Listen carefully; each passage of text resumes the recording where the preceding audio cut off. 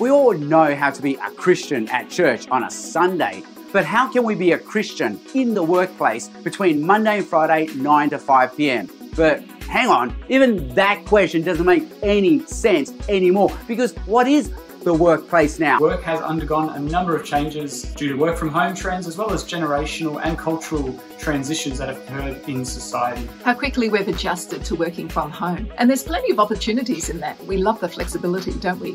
But there can also be some downsides. Many of us are lacking space because we are filling our lives with digital distraction and digital clutter and overusing our digital technology. I'm going to be talking to you at the next Life at Work conference about unplugging from technology to make space for what really matters. We'll be discussing whether the gospel helps us to reimagine a better way of working. Join us at Life at Work conference as I explore what the scriptures say we might contribute to this conversation, this reimagining of the future of work.